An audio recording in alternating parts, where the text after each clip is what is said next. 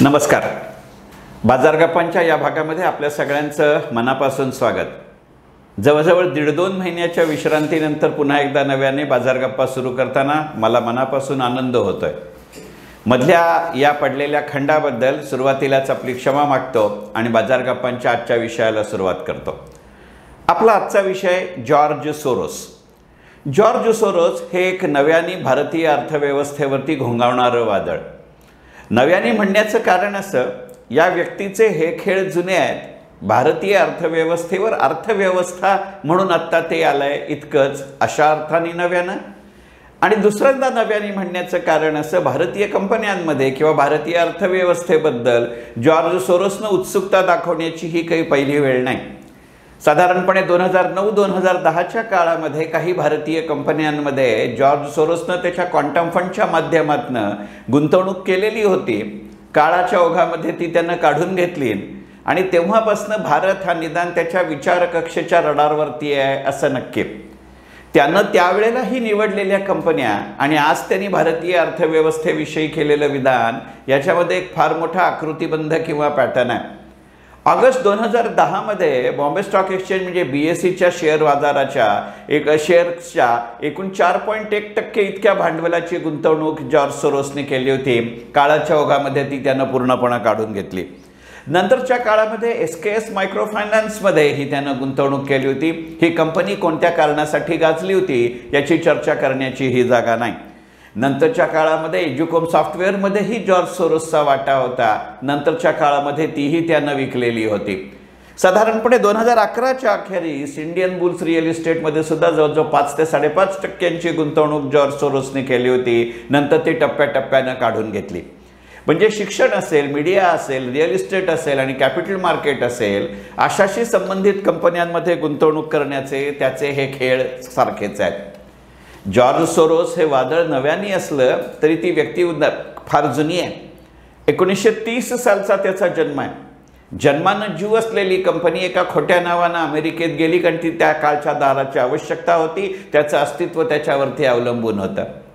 आणि वॉरन बफेशी विरोधाभास म्हणून जॉर्ज सोरोसची चर्चा करायची अनेक दशकांची जागतिक शेअर बाजाराला सवय आहे. वेळेच्या मर्यादामध्ये त्याचे सध्याचे काही पैलू आपण या व्हिडिओमध्ये पाहूया. पण जर जॉर्ज सोरोस याविषयी तुम्हाला सविस्तर माहिती हवी असेल तर राजहंस प्रकाशनाने प्रकाशित केलेल्या माझ्या गुंतवणूक पंचायतन या पुस्तकाच्या खरेदीचा आणि नंतर वाचनाचा जरूर विचार करा. सध्या या पुस्तकाची चौदावी आवृत्ती सुरू आहे. या पुस्तकाच्या निमित्ताने का होईना पण एकोणीसशे नव्याण्णव सालपासनं मी जॉर्ज सोरोस या माणसाचा ट्रॅक ठेवून आहे. एक अत्यंत वादळी व्यक्तिमत्व याच एका शब्दामध्ये त्याचं वर्णन करता येईल. एकंदरीतच जॉर्ज सोरोसनी भारताच्या अर्थव्यवस्थेविषयी केलेलं विधान अगदी गांभीर्यानं घ्यायची अनेक कारणं आहेत. सगळ्यात पहिलं म्हणजे जॉर्ज सोरोस जेव्हा एखाद्या देशाच्या अर्थव्यवस्थेविषयी विधान करतो आणि तेही असं टोकाचं जाऊन विधान करतो त्यावेळेला एक गोष्ट लक्षात घ्यायची असते की आता त्या देशाच्या कंपन्या आणि अर्थव्यवस्था प्रसंगी राज्यव्यवस्थासुद्धा त्याच्या रडारवरती आहे आणि ते पूर्णपणाने किलिंग टार्गेटसारखं तर वापरतो. कारण आजपर्यंत त्यांनी असा प्रयोग पोर्तुगालमध्ये केला आहे आजपर्यंत त्यांनी असा प्रयोग आयर्लंडमध्ये केला आहे आजपर्यंत त्यांनी असा प्रयोग इटलीमध्ये केला आहे आजपर्यंत त्यांनी असा प्रयोग ग्रीसमध्ये केला आहे आजपर्यंत त्यांनी असा प्रयोग स्पेनमध्ये केला आहे आणि ह्या सहा देश आणि आत्ता भारताविषयीचं विधान यातलं एक पॅटर्न असं आहे की या आधीच्या सहा देशांवरती त्यांनी जेव्हा हा प्रयोग केला त्यावेळेला त्या अर्थव्यवस्था नव्यानं कात टाकून सुधारणा करत होती. म्हणजे जॉर्ज सोरोसचं लक्ष भारतीय अर्थव्यवस्थेकडे जावं हे सुचिन्ह मानावं की दुश्चिन्ह मानावं असा प्रश्न आहे. सुचिन्ह अशा अर्थाने की आता जागतिक अर्थकारणामध्ये भारतीय अर्थव्यवस्था अव्वल स्थानाकडे जायला लागली आहे याची ही चुणूक किंवा पोचपावती आहे. आणि दुश्चिन्ह अशासाठी आहे की हा वयस्क मनुष्य इतका हट्टी आहे इतका टोकाला जातो आणि काही वेळेला इतके भावनावश होऊन निर्णय घेतो की पुढचा मनुष्य मेलाच पाहिजे अशी त्याची धारणा असते. म्हणजे जसं मिल्ट्रीमनबद्दल असं म्हटलं जातं की एकदा त्याचा हात उठला की एकतर तो संपेस्तोवर किंवा त्याला ज्याला संपायचा आहे त्याला संपेस्तोवर तो हात खालती येत नाही. अशा अर्थानंच जॉर्ज सोरोसकडे बघावं लागतं. जॉर्ज सोरोसनं हे प्रयोग केवळ पोर्तुगाल आयर्लंड इटली ग्रीस आणि स्पेन यांच्याबद्दल केले तशातलं भाग नाही. ब्राझील रशिया चीन आणि भारत हेही त्याच्या रडारवरती आहेत.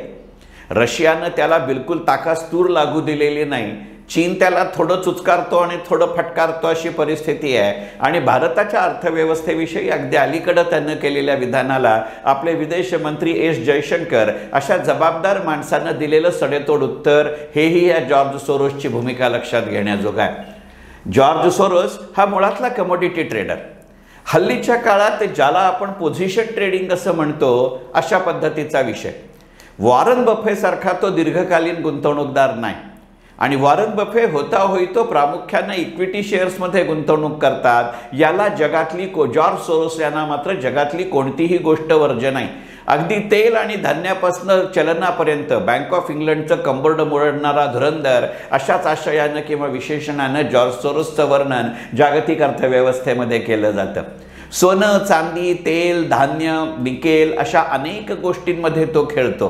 जिथं खेळता येतं आणि पैसा मिळवता येतं अशा पद्धतीचा हा ट्रेडर पण अनेक दशकं आपल्याच देशामध्ये नव्हे तर जागतिक गुंतवणूक क्षेत्रामध्ये सुद्धा ट्रेडिंग म्हटल्यानंतर आज घेतलं आजच विकलं सकाळी घेतलं दुपारी विकलं फार फार तर आज घेतलं आणि आठवडाभरात विकलं अशा पद्धतीच्या व्यवहारांना ट्रेडिंग म्हटलं जायचं.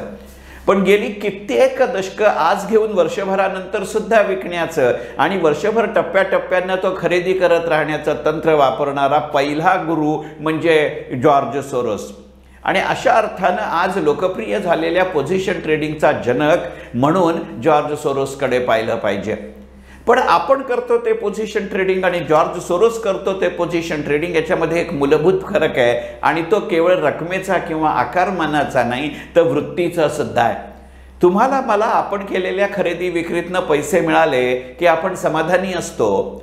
जॉर्ज सोरोस तशा अर्थी आता काही वर्ष क्रियारत नाही कार्यरत नाही. परंतु तो मात्र एखाद्या खुनशी माणसासारखा एखाद्या देशाच्या अर्थव्यवस्थेकडे जातो.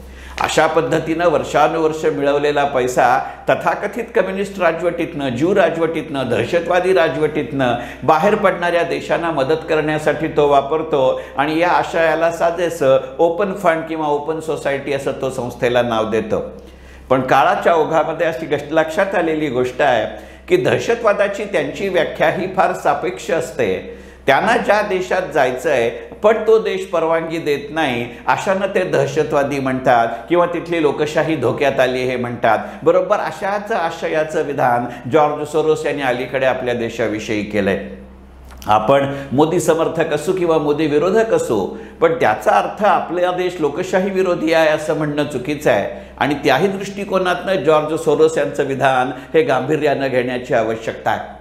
असा विचार करत असताना जॉर्ज सोरोस यांची एक कार्यशैली ही लक्षात घेण्याजोगी आहे.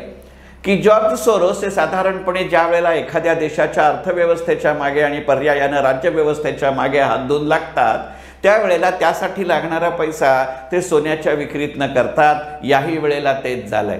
अशा वेळेला साधारणपणे ते व्याजदराशी संबंधित गुंतवणुकीशी खेळत राहतात आणि बरोबर हिंदेनबर्गच्या अहवालामध्ये अशाच पद्धतीची पार्श्वभूमी आहे हा योगायोग असू शकत नाही.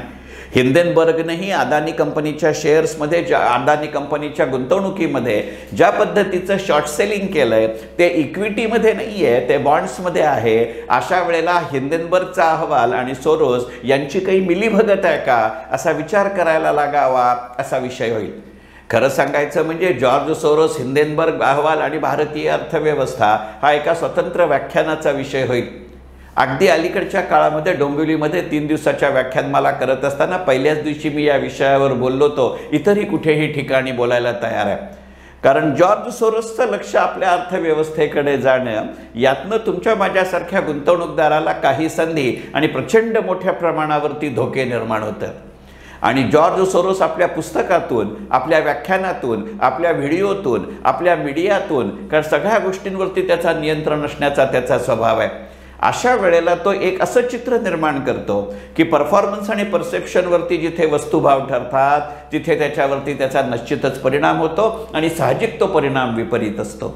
पण तो विपरीत परिणाम व्हायच्या आधीच्या काही काळामध्ये एक विशिष्ट चुणूक दाखवत काही प्रमाणामध्ये बाजार वृद्धी म्हणजे कॅपिटल अप्रिसिएशन आणि व्याजवृद्धी म्हणजे यील्ड टू मॅच्युरिटीचे रिटर्न्स वाढवण्याकडे त्याचा कल असतो. तशाही पद्धतीच्या गुंतवणुकीच्या संधी असतात का?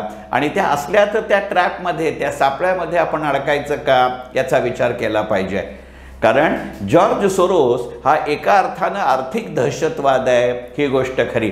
एखाद्या कंपनीच्या एखाद्या देशाच्या अर्थव्यवस्थेमध्ये सकारात्मक किंवा नकारात्मक वाढ होणं हा एक अर्थचक्राचा भाग आहे. पण अशा पद्धतीनं ती घडवून आणणं आणि तीही विधायक हेतूच्या ऐवजी विघातक हेतूनं घडवून आणणं हा मात्र स खरं सांगायचं म्हणजे सामाजिक नसला तरी नैतिक गुन्हा आहे. आर्थिक आणि गुंतवणूक क्षेत्रामध्ये नैतिकतेला फारसं स्थान दिलं जात नाही असं जरी कितीही म्हटलं झालं तरी असे जेव्हा सोरोससारखे अपवादात्मक आणि अपघातात्मक प्रसंग घडत असतात त्यावेळेला या विषयाकडे बघण्याचा दृष्टिकोन आपल्याला बदलावा लागतो. आणि त्यामुळे एक सावधानतेचा इशारा म्हणून जॉर्ज सोरोस या विषयाकडे बघितलं पाहिजे. मी मगाशी म्हटलं तसं वेळेच्या मर्यादामध्ये फक्त या विषयाचं सिलेबस सांगणं हा या व्हिडिओचा उद्देश होता. याबद्दलची सविस्तर माहिती माझ्या गुंतवणूक पंचायतन या पुस्तकामध्ये जरूर वाचा. मनपूर्वक धन्यवाद.